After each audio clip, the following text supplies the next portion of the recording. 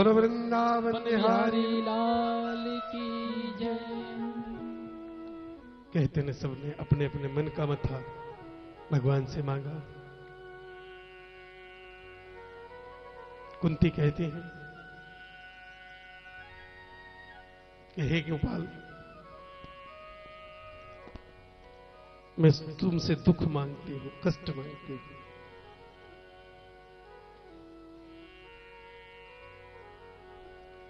कहते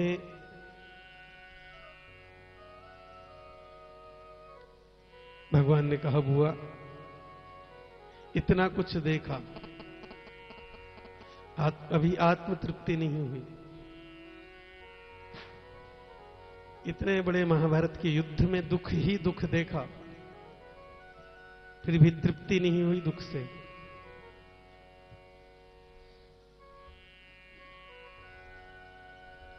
कुंती कहती है।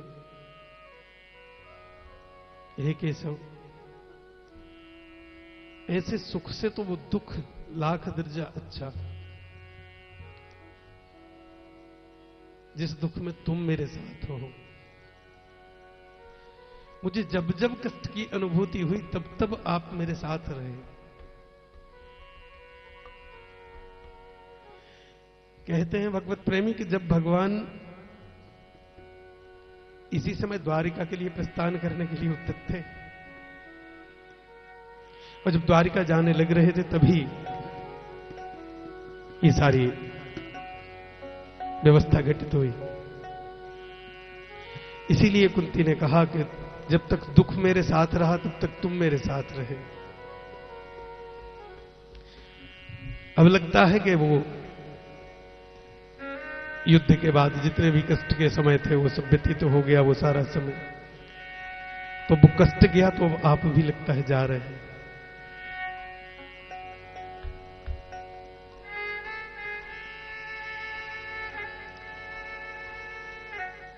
तब भगवान कहते हैं,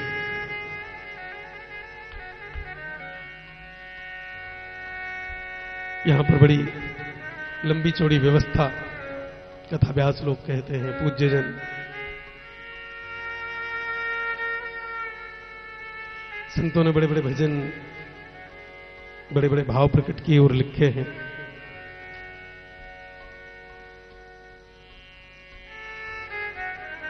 ऐसी विपत्ति जो ईश्वर को मिला दे, ईश्वर को साथ रख दे, लाख सुखों से बढ़कर है और कहते हैं कि हे गोविंद, जब जब कष्ट पड़ता है, व्यक्ति आपको भूल ही नहीं सकता। भूलता तो तब है जब सब कुछ उसको मिल जाता है। जब सुख मिलता है, समृद्धि मिलती है।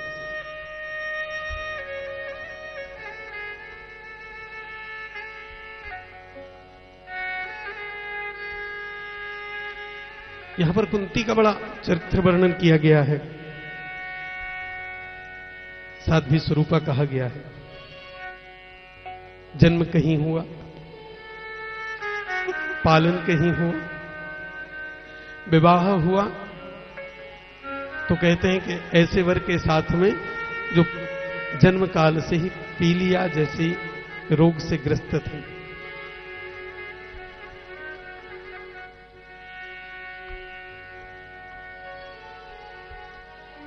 वैसे तो भारत वंश में प्रत्येक योद्धा जो भी यहाँ उत्पन्न हुआ है, उस सभी के सभी कहीं ना कहीं योग के द्वारा नहीं तो कहीं किसी अन्यत्र व्यवस्था के द्वारा उत्पत्ति हुए हैं। इनमें उदरो, उदरोत्पत्ति बड़े कम लोगों की पाएगी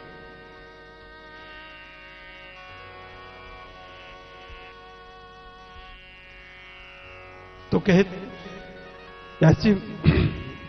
सूर्य महाराज कहते हैं कि व्यक्ति का उत्पत्ति स्थल या उसका जन्म जिस प्रकार की व्यवस्था में होता है, जिस व्यवस्था में उसका जन्म होता है, जिस प्रकार की व्यवस्था में उसके स्थान पर उस स्थान पर जहाँ पर उसका जन्म होता है, उस स्थान के प्रभाव स्वरूप ही वो जीवन यापन करता है। कुंती के बारे में महाभारत में और भागवत में बड़ा विस्तार से लिखा है। साध्वी स्वरूप बताया गया है। और कहते हैं कि पूरे जीवन ब्रह्मचर्य का पालन किया इन्होंने। कहते हैं इनकी सूर्य महाराज कहते हैं कि इनके पति को श्राप था कि यदि वैवाहिक सुख भोग करेंगे तो उनका प्राणांत हो जाएगा।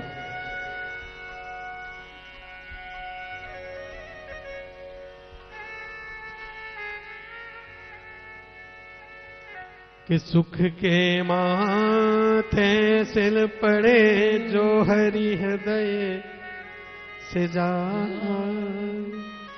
बलिहारी उस दुख की,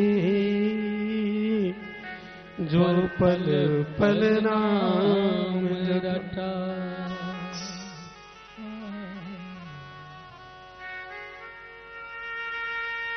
सुंदरकांड में बड़ा सुंदर स्वभाव कहा है।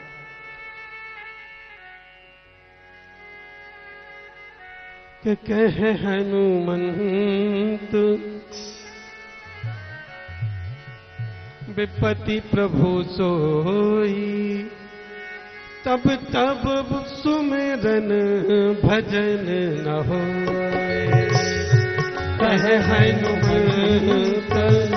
विपति अति सोई। जब तब सुमिरन भजन न हो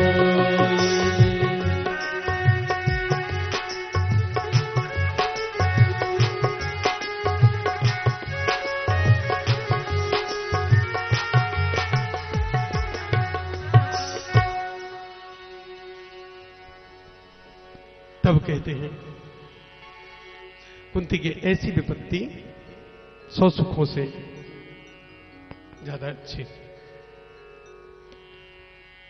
भगवान बोले भुआ अब तो बच करो।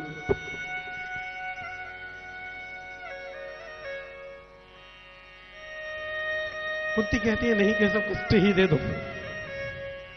कम से कम वो कल्याणकारी है, अगर हमारे साथ आप हैं तो।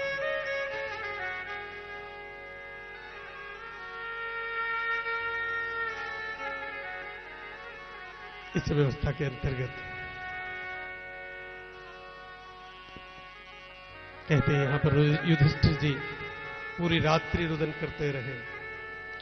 क्योंकि संतान शोक श्री कृष्ण के जाने का शोक, भगवान ने बड़ा समझाने का प्रयास किया, परंतु ऐसा होता है, व्यक्ति केवल उसकी बात सुनता या मानता है जिस व्यक्ति को वो अपने से बड़ा मानता है। और युधिष्ठिर जी भगवान कृष्ण को कज़न मानते थे, लघु भ्राता के स्वरूप में मानते थे। और यही कारण था कि उन्होंने बहुत समझाया, परंतु उनके समझ में नहीं आ सके। वो नहीं समझा सके उनको। तब भगवान के मन में स्मृति जागृत हुई। कि यदि भीष्म पितामह के समक्ष ले जाएँगे तो शायद उनके समझाने से युधिष्ठिर जी महाराज समझ जाएँगे। ये बात और भी कई जगहों पर लागू होती है कि जब व्यक्ति बड़ी व्यवहारिक सी बात है, घर का व्यक्ति अगर घर के व्यक्ति को कुछ समझाने का प्रयास करे तो उसके समझ में जल्दी आता नहीं है। बिल्कुल व्यवहारिक है। और यदि पड़ोसी कुछ बात समझाते बड़े जल्दी समझ में आ जाती। और इस शिकायत को तो कोई किसी से कर ही नहीं सकता, क्योंकि तो हर घर की समस्या है। अगर घर का कोई कहता है, वो बात समझने योग्य होते हुए भी नहीं समझ में आती। परंतु वही बात अगर दूसरा समझा जाए, दूसरा समझा जाए जिसको व्यक्ति अपने से श्रेष्ठ मानता हो, बस बात यहाँ आती है। यहाँ एक सूत्र छुपा है जीवन का, कि मनुष्य यदि चाहे तो अपने घर में अपने बच्चे को भी श्रेष्ठ मान सकता है। ऐसी स्थिति तो यहाँ उत्पन्न हुई है भागवत में। कपिल देव जी का प्रसंग आएगा अभी। बिल्कुल ऐसी स्थिति उत्पन्न हुई।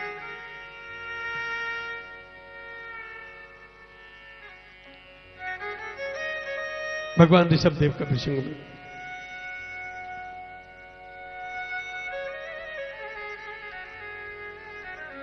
तब भगवान पितामह भीष्म के पास जाते हैं पांडवों को लेकर के।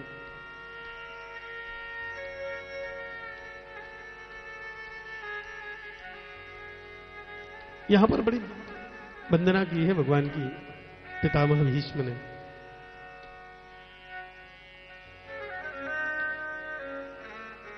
और जब कोई किसी को मिलता है तो सबसे पहले हालचाल पूछता है, परंतु ऐसी अवस्था पितामह भीष्म की हालचाल में ये भी नहीं पूछ सकते जैसे चलते कि कैसे हो, जो बाणों की सैया पे लेटा हुआ हो, कैसी अवस्था में होगा।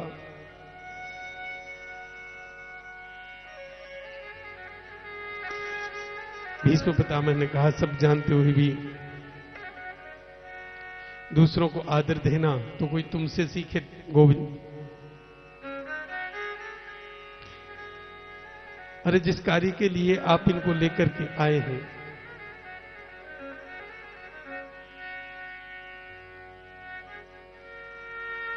मैं उनको क्या उपदेश करूँ?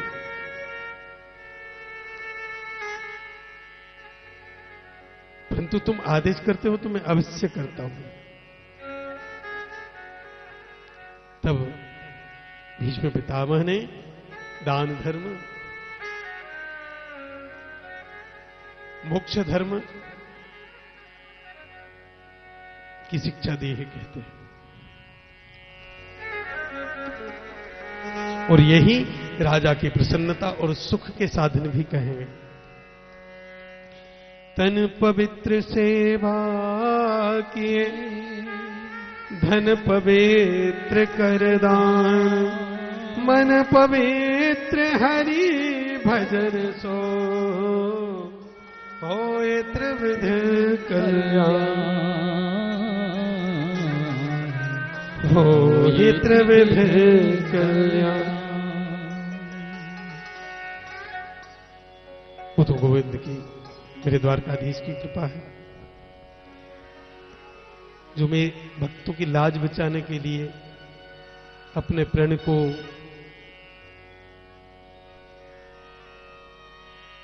अपने वचन को जहाँ जैसी आवश्यकता होती है, उसी प्रकार से कहते हैं ना, कि छोटा व्यक्ति समझौता कभी नहीं करता। सहमत है ना कुछ लोग मेरी बात से? छोटा व्यक्ति समझौता कभी नहीं करता। समझौता वो व्यक्ति करता है जो किसी योग्य हो या श्रेष्ठ हो। अर्थात मनुष्य को श्रेष्ठता प्रदान करती है, उसकी यही योग्यता।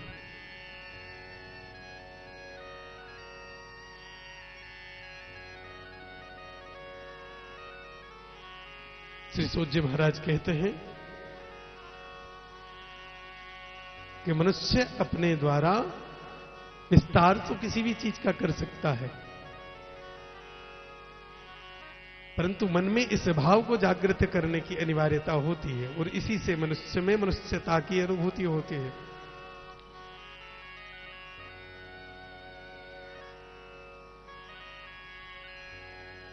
कहते हैं, तुम्हारे जैसा धुरंधर पराक्रमी वीर इस धराधाम पर अवतरित नहीं हुआ। भगवान कहते हैं भीष्म से सूत जी महाराज कहते हैं कि महापुरुष अपने जीवन में कभी भी भीष्म पितामह जैसे महापुरुष अपने जीवन में कभी रुदन नहीं किया।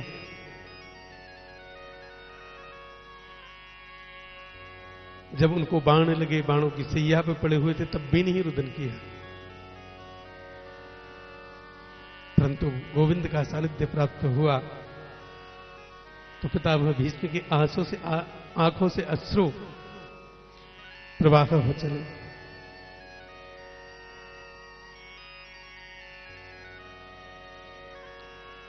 कहते हैं कि चौवन दिन तक पितामह भीष्म, अठारह दिन का युद्ध और शेष बचा हुआ ये जो भोग था,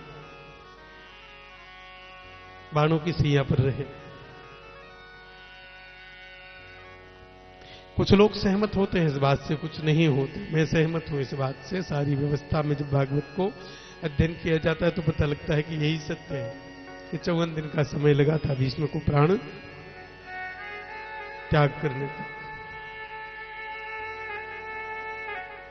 कुछ कवियों ने बड़ा अच्छा सा भजन लिखा है इस व्यवस्था के अंतर्गत।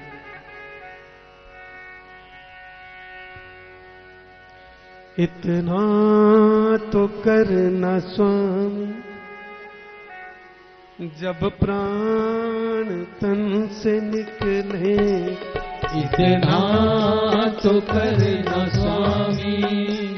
जब प्राण तन से निकले गोविंद नाम लेकर गोविंद नाम लेकर प्राण तन से निकले इतना तो करना स्वामी, जब प्राण कंस निकले इतना तो करना स्वामी, जब प्राण तन से निकले। गोविंद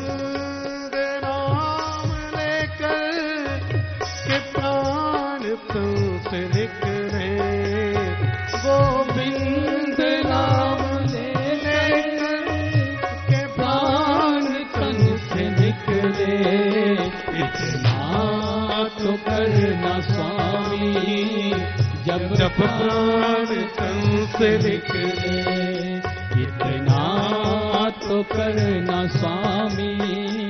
जब प्राण तन से निकले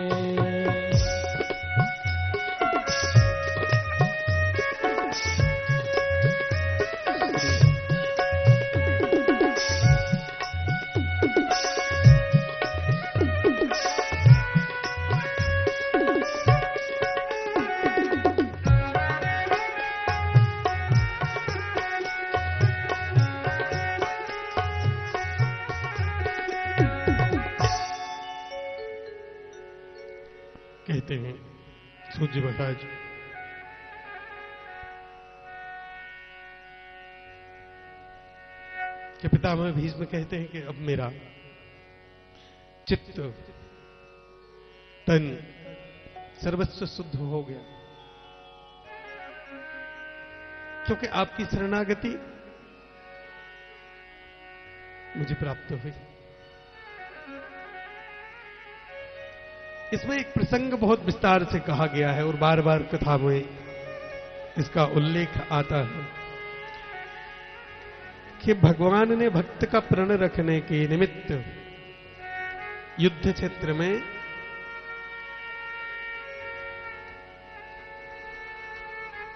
जब कहते हैं ना पांडवों ने, कौरवों ने जब सेना दुर्योधन ने जब सेना मांग ली थी भगवान कृष्ण की तो पांडवों ने कृष्ण को मांगा था अपने साथ युद्ध में। परंतु जब दुर्योधन ने आह्वान किया था तो भगवान ने कहा था कि युद्ध में चलूँगा तो परंतु मैं अस्त्र नहीं उठाऊँगा। इस प्रसंग की चर्चा सब कथाभ्यास करते हैं, मैं भी कर रहा हूँ। इसीलिए कि भक्तों का प्रण रखने के लिए प्रभु अपनी वचन को छोड़ देते हैं।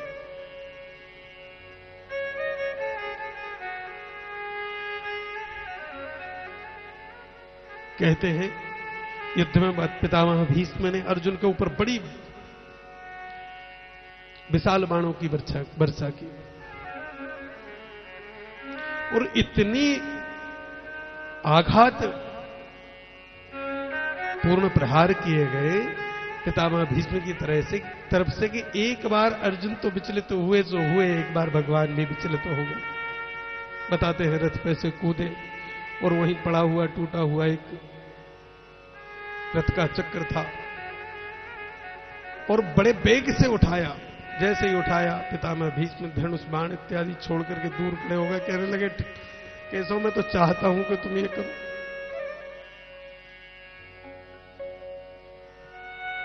यहाँ पर बाणों की सैया पर लेटे हुए पितामह भीष्म उस क्षण को स्मरण करते हुए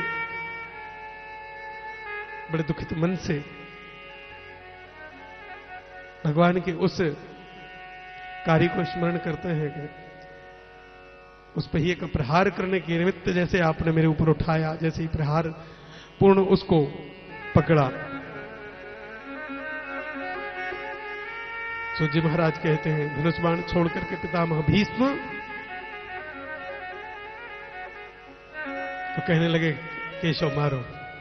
यही तो मैं चाहता हूँ। और उस दिन मेरा प्रण रखने के लिए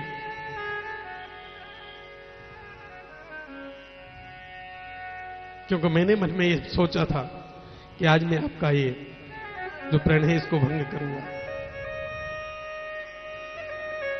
तो का अपना प्रण छोड़ दिया।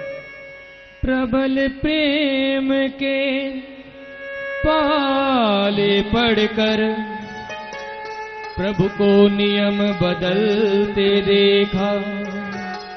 अपना मान भले टल जाए जन का मान ना टलते देखा। जन का मान ना टलते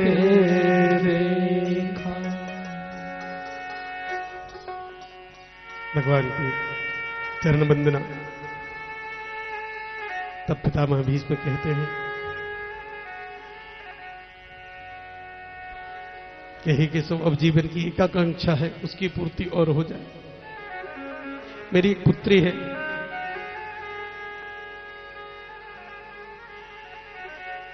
जैसे ही मुख से निकला मेरी एक पुत्री है तो जितने भी वहाँ पर पांडव इत्यादि खड़े थे, सब बड़े चकित भाव से देखने लगे, ये तो ब्रह्मचारी हैं।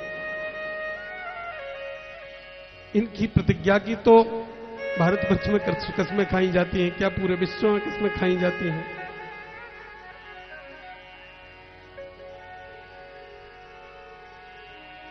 कि इन्होंने प्रतिज्ञा की थी कि मैं जब तक जीवन जीवन है तब तक मैं विवाह नहीं करूँगा। फिर पुत्री कहाँ से उत्पत्ति हो गई?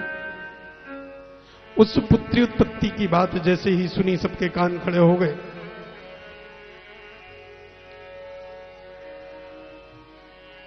पितामह कहते हैं कि मेरी बुद्धि रूपी पुत्री,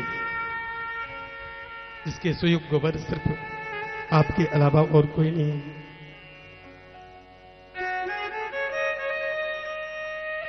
जिसने गीता जैसे धर्म ग्रंथ का उपदेश किया, उस विवेकी वर से ही मैं अपनी पुत्री का पानी ग्रहण करना चाहता हूँ।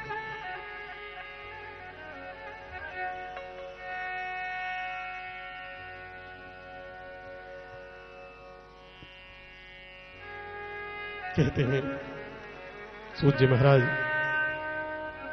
सच्चिदानंद भगवान, उस समय भीष्म के एक एक शब्द को बड़े भाव से और बड़े ध्यान से सुन रहे थे।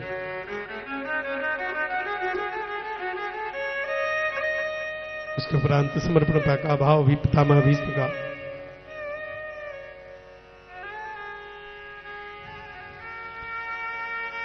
देहांत काले तुम सामने हो। मुरली बजाते मन को लुभाते। कि यह गीत गाकर कितन नाथ त्यागो। गोविंद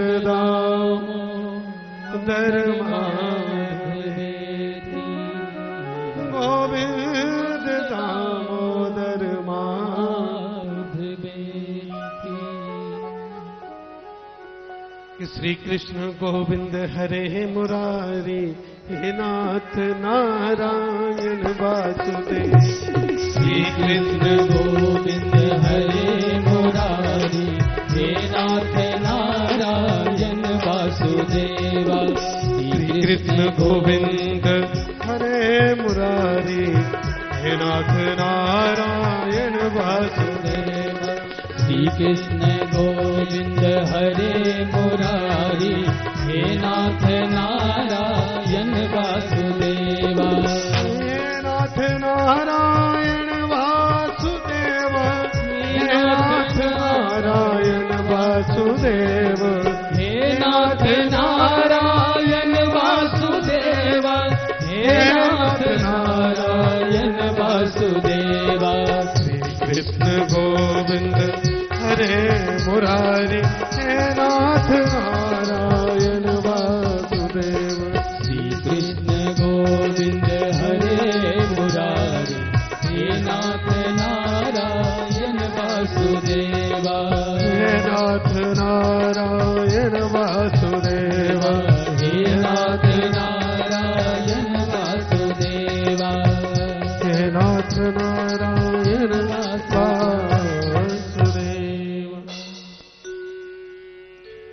पितामह भीष्म कहते हैं, ऐसा सौभाग्यशाली कौन होगा जिसके प्राणांत के समय स्वयं साक्षात योगेश्वर परमेश्वर मेरे समक्ष खड़े ऐसे किसके समक्ष खड़े हो?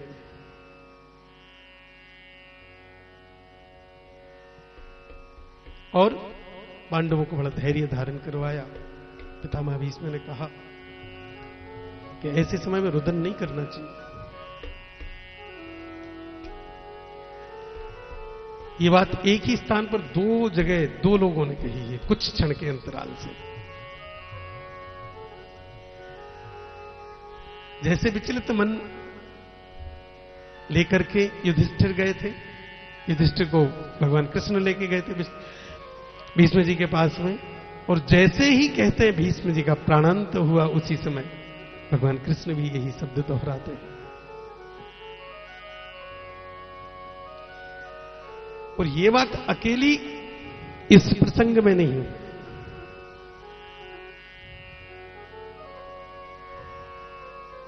रुदन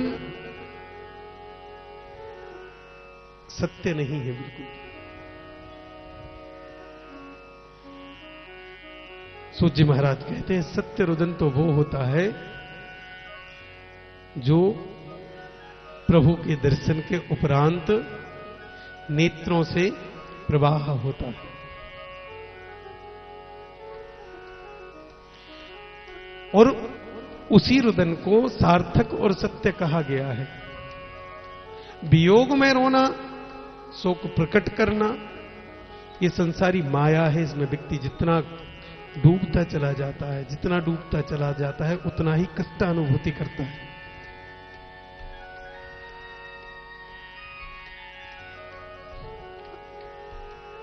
और उसी कष्ट के फल स्वरूप वो जितना उस कष्ट में डूबता चला जाता है, कहते हैं, ईश्वर से उतना ही दूर होता चला जाता है।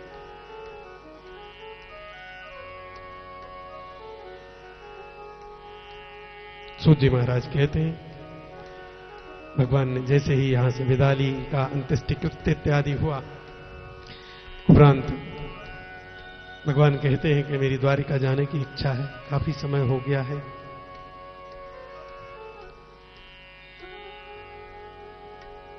मैंने कल की कथा में आप लोगों को सुनाया था कि व्यक्ति अपने और अपनों के प्रति जब ज़्यादा आसक्ति और ज़्यादा चिंता करता है ना तो उस चिंता के समय में कुछ निर्णय ऐसे करता है जैसे युधिष्ठिर ने किया। युधिष्ठिर जी ने भगवान कृष्ण की जब द्वारिका जाने के संदेश को प्राप्त किया। तो उन्होंने कहा कि अर्जुन को साथ में लेके जाइए। मार्ग में किसी प्रकार की अव्यवस्था उत्पन्न न हो। जो सर्वेश्वर सारी सृष्टि का संचालन करते हैं, उनकी असुरक्षा की भावना भक्त के मन में आती है। और वही असुरक्षा की भावना ही मनुष्य को आसक्ति की ओर लेकर जके जाती है। और ये आसक्ति दो स्वरूप हैं इस आसक्ति के। एक आसक्ति इतनी कल्याणकारक है कि अगर मनुष्य के अंदर जागृत हो जाए तो ईश्वर से साक्षात्कार बिना किसी विघ्न के हो जाए। और इसी आसक्ति का स्वरूप अगर संसारी विषयों में हो जाए तो कहते हैं वही आसक्ति मनुष्य के विनाश का भी कारण होती है। मनुष्य अपने जीवन में सबसे ज़्यादा स्नेह किससे करता है? अपनी संतान से ना। और उस संतान में भी एक द्वेष की भावना रखता है। इस सच को स्वीकार कम लोग करते हैं। बाकी एक बात है, मानते सब हैं। एक ही माँ के उदर से उत्पन्न होने वाली दो संतानों के लिंग भेद के कारण दोनों में ही अंतराल माना जाता है। उनके साथ व्यवहार भी उसी तरह का होता है।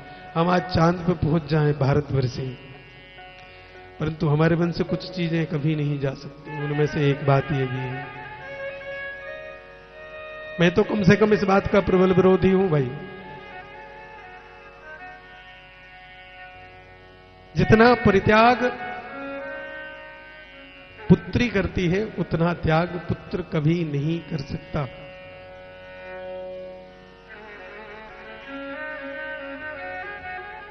चाहे जीवन की कोई भी अवस्था हो, अगर मेरे से कोई पूछे तो मैं तो यही कहूँगा कि जो श्रेष्ठता पुत्री को दी जा सकती है, वो पुत्र को कभी नहीं दी जा सकती। पुत्र तो स्वार्थ का दूसरा नाम है।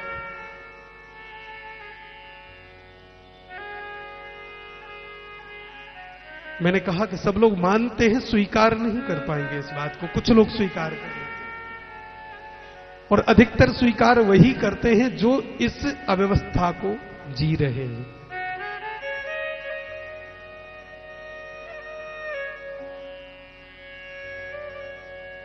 मैंने विचार किया था कि मैं पूरी कथा में कहीं पर भी अपनी व्यवस्था के विषय में कुछ नहीं बोलूँगा।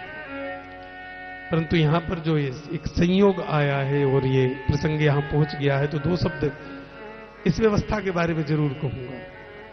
हमारे बीच माताएँ बैठी हुई हैं। भ्रातबंधु आदि बैठे हुए हैं। मैं इस बात को प्रमाण के साथ कहता हूँ, आर्थिक अवस्था कैसी भी हो, हम अपने किसी प्रियजन के घर पे बैठे थे तो उन्होंने हमसे इस बात को कहा था, महाराज जी, ये सब चीज़ ना एक पर्टिकुलर स्टेटस के नीचे की है।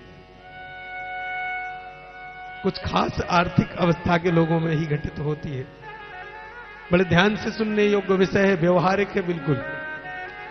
और अगर कहीं अप्लाई हो सकता है तो बहुत अच्छी बात है जीवन में। उनकी ये बात मैं जीवन में कभी नहीं भूल पाऊँगा, उन्होंने कहा था कि स्तर के आधार पे ऐसी बात आती है। हमने आप लोगों को कहा था कि जिस दिन कथा का पहले कथा होगी। इस मंच से मैं आप लोगों को बताऊँगा, जन कल्याण संस्थान के कुछ उद्देश्य हैं। उनमें से एक बहुत बड़ा उद्देश्य ये है कि एक जागरूकता अभियान संस्कारिता के लिए जन कल्याण संस्थान चला रहा है। न तो मैं कोई बाबा जी हूँ, और ना ही बाबा जी जैसी मेरी सोच है कि मुझे आश्रम बनाना है या कुछ करना है। जीवन में एक अच्छा काम करने का मन में विचार आया। उसी के हिसाब से वो कहते हैं कि कथा का तो बड़े बड़े विद्वान लोग बैठे हुए हैं इस धराधाम पर, इस भारतवर्ष में। ऐसे ऐसे विद्ध समाज के एक श्लोक के ऊपर पूरा का पूरा सप्ताह क्या वर्ष, दो, चार वर्ष बिता दें? एक श्लोक के ऊपर इतना बोले। मैं तुच्छ प्राणी क्या भागवत की कथा सुनाऊँगा? छोटी सी बुद्धि वाला आदमी। प्रभु की कथा का तो बड़ा, बहुत बड़ा विस्तार कहा गया है। हरि अनंत, हरि कथा अनंता। कहीं सुनही बहु विधि सब संता। हरि अनंत, हरि कथा अनंता। कहीं सुनही बहु विधि सब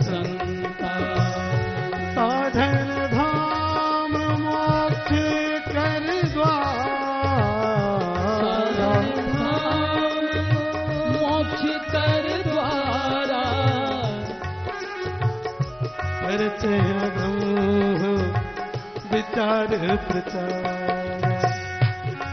जय ब्रह्म विचार विचारा हरि अनंत, हरि कथा अनंता। कहीं सुनही बहु विधि सब संता। कहीं सुनही बहु विधि सब संता। मैं अपनी इस छोटी सी वाणी से क्या कथा श्रवण कराऊँगा? हाँ प्रयास अवश्य कर सकता हूँ। क्यों? कि मन में एक अच्छी भावना है। जो भी विद्युत समाज, विद्युजन मुझे सुन रहे हैं, यदि कथा में कहीं त्रुटि रहे तो हमारी करबद्ध प्रार्थना है कि उसको ऐसे ही स्वीकार कर ले, क्योंकि मैं तो आपके चरणों में जो मेरे से बन पड़ रहा है, उस पुष्प शब्द पुष्प अर्पण करने का प्रयास कर रहा हूँ। और बड़े प्रसन्न भाव से, किसी भी प्रकार का मन में कोई किसी तरह का दोष नहीं है। भावना अच्छी है। तो मैं आप लोगों को यह बता रहा था कि वहाँ ये विचार, ये विषय चला कि महाराज जी, एक विशेष स्तर में ही ऐसी अवस्था है। कौन सी अवस्था? उस अवस्था का स्पष्टीकरण करता हूँ। जहाँ पर माता पिता कुंठित भाव से जीवन यापन कर रहे हैं। परंतु मैं इस बात का खंडन करता हूँ।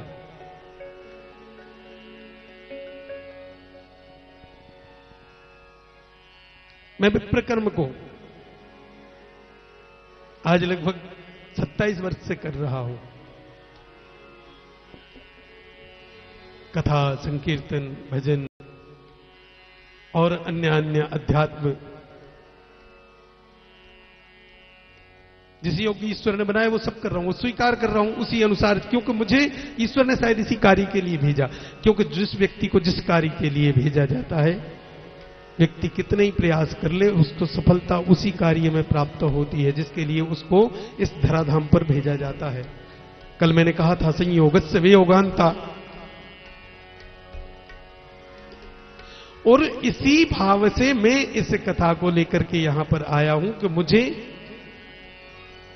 एक सत्कर्म के निमित्त अपनी भावना के साथ में आगे बढ़ना है। जो हमारे साथ खड़े हैं, वो तो खड़े ही हैं। हमें उन पर तो इतना विश्वास है कि उन सभी लोगों ने ही तो ये सब कुछ व्यवस्था जोड़ी है। छोटे, बड़े, देवियाँ, देवता, श्रोता, इष्ट, मित्र, सबने पता नहीं मैं ऐसी योग्य था भी कि नहीं। तो कुंठित मन से माता पिता जीवन यापन कर रहे हैं। मेरी कथा में मैंने कहा था, हमारे एक प्रेमी श्री कमल अग्रवाल जी हैं सालेमार बाग, दिल्ली में। उनकी देवी ने मुझे पहले भी सुना था। पंडित जी, आपकी कथा जो होती है, थोड़ी सी अलग होती है, सुनने में बड़ा आनंद आता है। कल मैं अपनी बात नहीं रख पाया था, कुछ अव्यवस्था मार्ग में हो गई थी आते हुए में, जिसकी वजह से मैं अपनी बात स्पष्टता जैसे करनी थी वैसे रख नहीं पाया था। और ना ही उसी प्रकार से कथा को आगे आप लोगों को श्रवण करा पाया था। तो हमारे जो सहयोगी जन है, उन्होंने भी कहा था, महाराज जी, प्रणाम करते हैं आपको। तो उन्होंने भी कहा था, महाराज जी, थोड़ा सा आपका कॉन्फिडेंस थोड़ा कम लग रहा था। मैंने कहा, ठीक है भाई, आगे ध्यान रखेंगे इस बात का। तो कहने का भाव यह है कि माता पिता के उस अवस्था पर हमें विचार करना है। यही अभियान हमने भारतवर्ष में चलाया हुआ है। और बल्कि भारतवर्ष में ही क्यों जहाँ जहाँ रहते हैं सभी लोग। हमारे भारतीय या अन्य भी। इस सृष्टि की संरचना में जितनी भूमिका ब्रह्मा जी की है, उतनी ही भूमिका मातृत्व करने, प्राप्त करने वाली माता की है, जो हमें इस धरा का परिचय कराती है, इस कर्म क्षेत्र में भेजती है। और उससे बड़ी भूमिका उस पिता की है, जो अभाव होते हुए भी अपनी संतान को कभी मना नहीं करता कि मेरे पास ऐसी वस्तु नहीं है, पुत्र या पुत्री। और कष्ट तो तब होता है जब इस अवस्था से वही संतान निकाल करके और अपने माता पिता को वृद्धाश्रम जैसे स्थानों पर भेज देती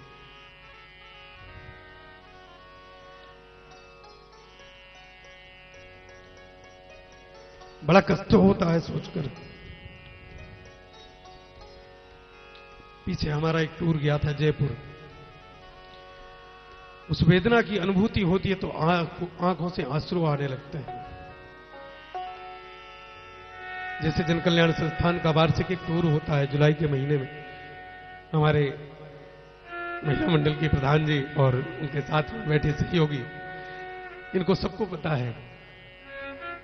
इस बार हमारे टूर का मुख्य उद्देश्य था जयपुर के साथ में पुष्कर जी जाने का। परंतु मार्ग में, जयपुर में ही हमें एक वृद्धाश्रम जहाँ हम ठहरे थे, उसके बाजू में था। जयपुर राजस्थान, सब लोग जानते हैं।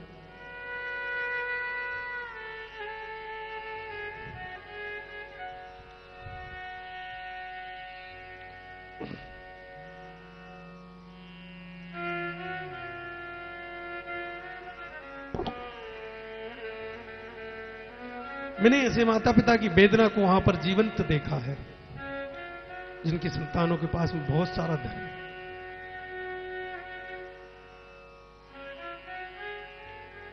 और उस माँ का मातृत्व अपनी संतान को देखने के लिए इस प्रकार से ललायत, जैसे कि भगवान के लिए भक्त ललायत होता है।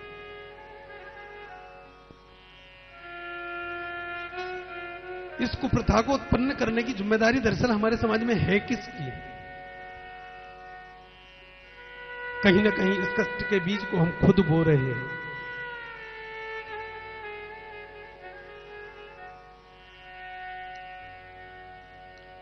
इसके इस बीज का आरोपण हमारे ही द्वारा हो रहा है।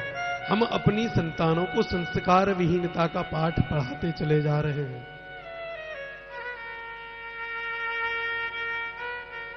राम राम नहीं करते आज के बच्चे कहते हैं, गुड मॉर्निंग जी। माँ अपने बच्चे को एक तीसरी भाषा बताती है, बेटा, जाके हैंड वॉश कर ले। अब कर ले। हैंड वॉश हो गया अंग्रेज़ी का, कर ले हो गया हिंदी का, जाके हो गया हिंदी का। पता नहीं कौन सी भाषा पढ़ाना चाहते हैं। और जब हम भाषा ऐसी पढ़ाते हैं तो संस्कार भी ऐसे ही टूटे फूटे देना चाहते हैं, कहीं की टांग जोड़ दी, कहीं का हाथ जोड़ दिया। विकृत तो स्वाभाविक तौर पर हो ही जाना है अपने आप। उस विकृति को जन्म हम खुद दे रहे हैं अपनी व्यवस्था के अंतर्गत। और सच ये है, केवल दूसरे को देखते हैं, उसके घर में ऐसा हो रहा है। हमारे घर में नहीं दिखता। किसी को नहीं दिखता। बाकी मैं गैर, पूरे दावे के साथ कहता हूँ कि इस भारतवर्ष में, आज के समय में, शहरी जीवन में खास तौर से ग्रामीण जीवन में, अब भी मर्यादाएँ सुरक्षित हैं बहुत जगहों पे, क्योंकि मैं तो जाता रहता हूँ। परंतु मैंने ये अनुभूति की है कि शहरी शहरी जीवन शैली में तो मनुष्य के पास में ये सब नित्य देखने को मिल रहा है।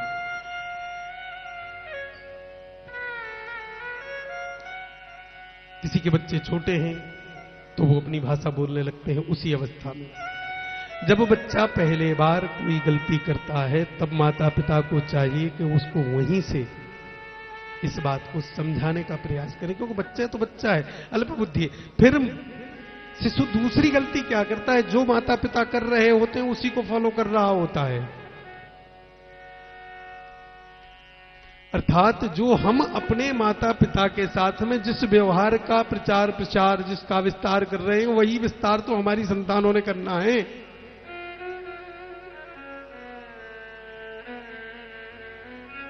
जब तक हम अपनी इस जीवन, जब तक कहते हैं कि धनाधिकार हमारे पास है, तब तक निर्णय हमारे हैं।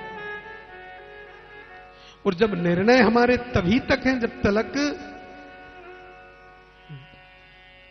धन या हमारा गृहस्थ कोष हमारे पास है। तो हमें उसी समय में ऐसे निर्णय भी लेने चाहिए जिनको सब लोग पालन करें।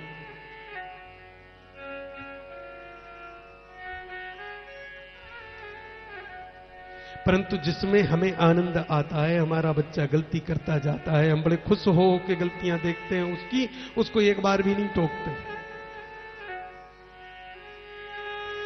ये तो हो गई शिशु की, परंतु शिशु से ज़्यादा विकृत स्थिति तो हमारी है।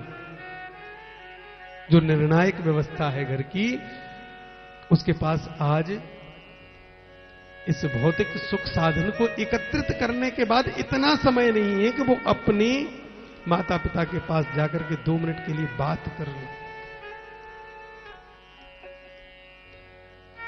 इन सिस्कियों की अनुभूति मैंने जयपुर में करी थी। और जो जो लोग जयपुर गए थे, उनको सबको पता है कि आज ये जो कथा हो रही है, दिसंबर में होनी थी इसी पीयू ब्लॉक रामलीला ग्राउंड में। भाग्यवश इसको आगे करना पड़ा कि कुछ कारण रहे, क्योंकि इसका जो उद्घोष था, इसका अनाउंसमेंट जो था, वो तो खोले वाले हनुमान जी महाराज के श्री चरणों में बैठ करके हो गया था। और वहीं पर श्री बालाजी के चरणों में हाजिरी लगा के कहा था हम लोगों ने कि हमारा बेड़ा हमारा बेड़ा पार लगा दीजिए श्री बालाजी महाराज। हमारा बेड़ा पार लगा लगा दीजिए बालाजी महाराज। बालाजी महाराज हमारा बालाजी महाराज।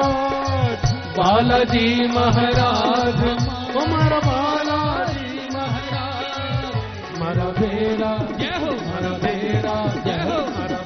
बेड़ा पार लगा लगा दीजिए बालाजी महाराज। हमारा बेड़ा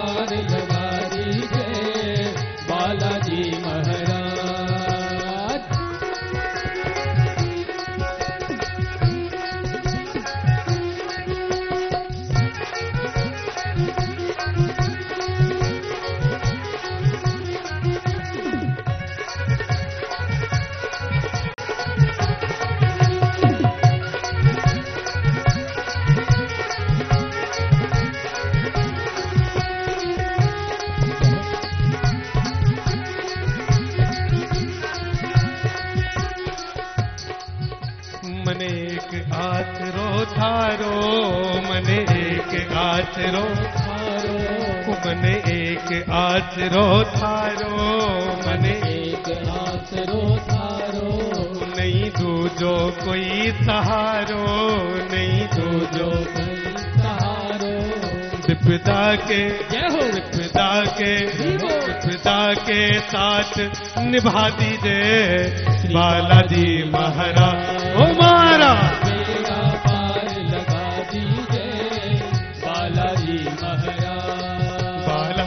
बालाजी महाराज हमारा बालाजी महाराज। बालाजी महाराज हमारा बालाजी महाराज। हमारा बेड़ा हमारा बेड़ो। मारो बेड़ो पार लगा दीजिए बालाजी महाराज। मेरा बेड़ा पार लगा दीजिए बालाजी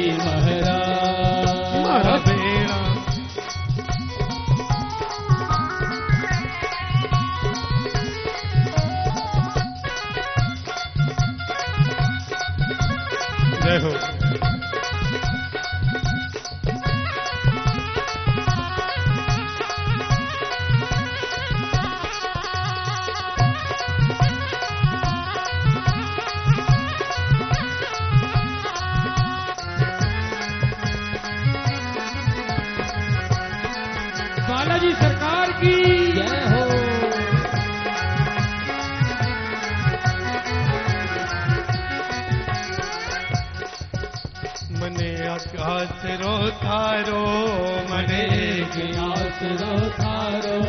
नहीं दूजो कोई सहारो नहीं तू जो कोई सहारो। विपदा के विपदा के विपदा के साथ निभा दीजो। बालाजी महाराज हमारा बेड़ा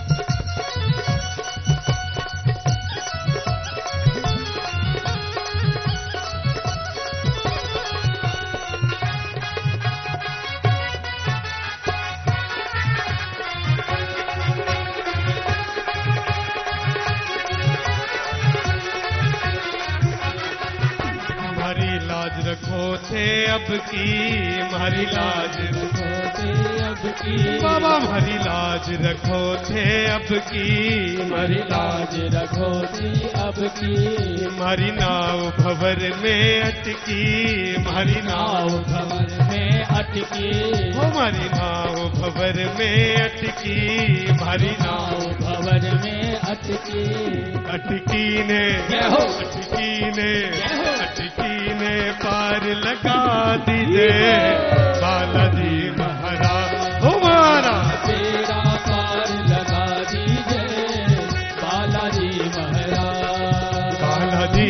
महाराज हमारा बालाजी महाराज।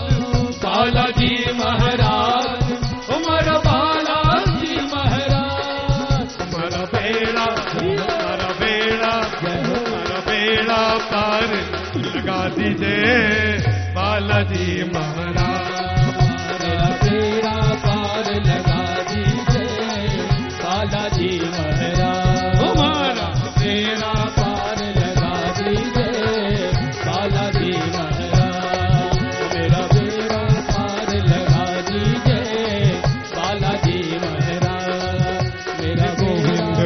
हरि गोपाल बोलो। गोविंद बोलो हरि गोपाल बोलो। गोविंद बोलो हरि गोपाल बोलो। राधा रमन हरि गोपाल बोलो। गोविंद बोलो हरि गोपाल बोलो। गोविंद बोलो हरि गोपाल बोलो। गोविंद बोलो बोलो गोपाल बोलो। गोविंद बोलो बोलो गोपाल बोलो। राधा रमन हरि गोपाल बोलो। राधा रमन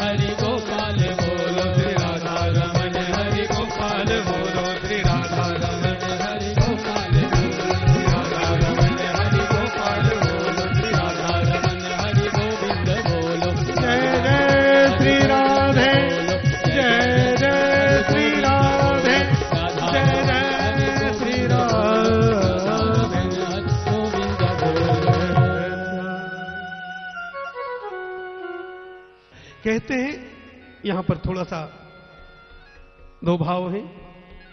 और मैं दोनों ही भाव बताता हूँ आपको। अश्वत्थामा ने जिस समय गणना की थी तो पता लगा था कि महाराजा परीक्षित सप्तम अष्टम मास की गर्भावस्था में है।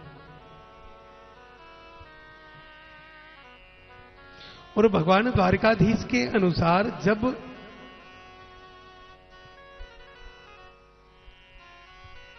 गर्भ की अवस्था कही गई है कि कुछ समय पश्चात तीन चार महीने के उपरांत,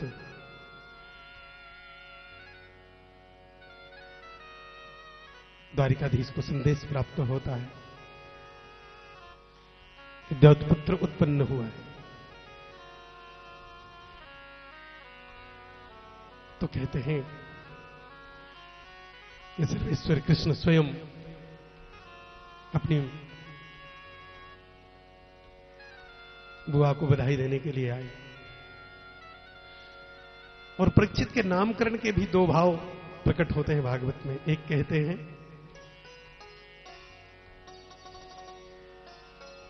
कि व्यास जी के द्वारा रखा गया परीक्षित नाम, और एक कहा जाता है कि भगवान कृष्ण के द्वारा कुछ संत इसका संधि विच्छेद करके बड़े अच्छा भाव प्रकट करते हैं।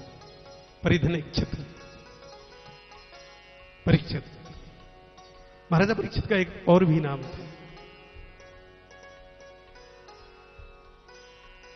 नामकरण इत्यादि जो संस्कार होते हैं, वो सब हुए। कहते भगवान, पुनः अपने धाम द्वारिका पहुँच गए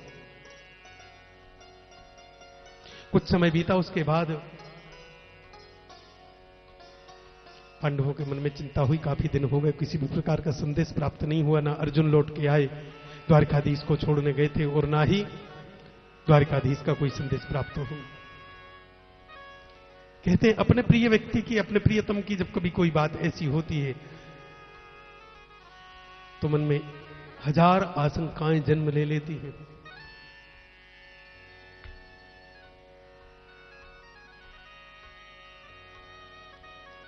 बड़े निमग्नता के साथ में बड़े भाव के साथ में महाराज युधिष्ठिर सोचने लगे। कहते हैं, कुछ समय पश्चात अर्जुन लौटकर आते हैं। अर्जुन की बड़ी मलिन सी स्थिति देखते हैं।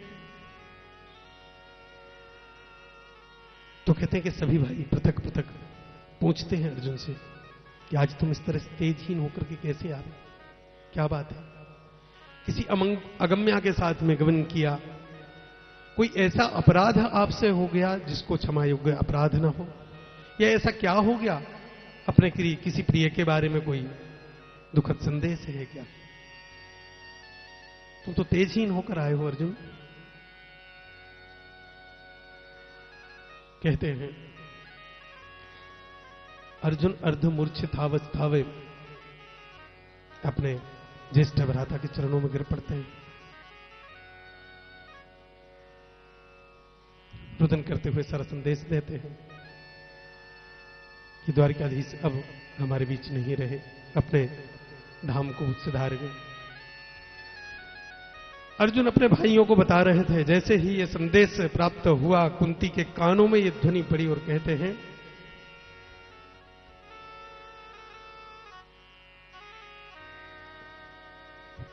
जैसे महाराजा दशरथ की स्थिति हुई थी। माता कुंती की भी उसी प्रकार की स्थिति उत्पन्न हुई। यहाँ पर वही लेख भागवत में आता है।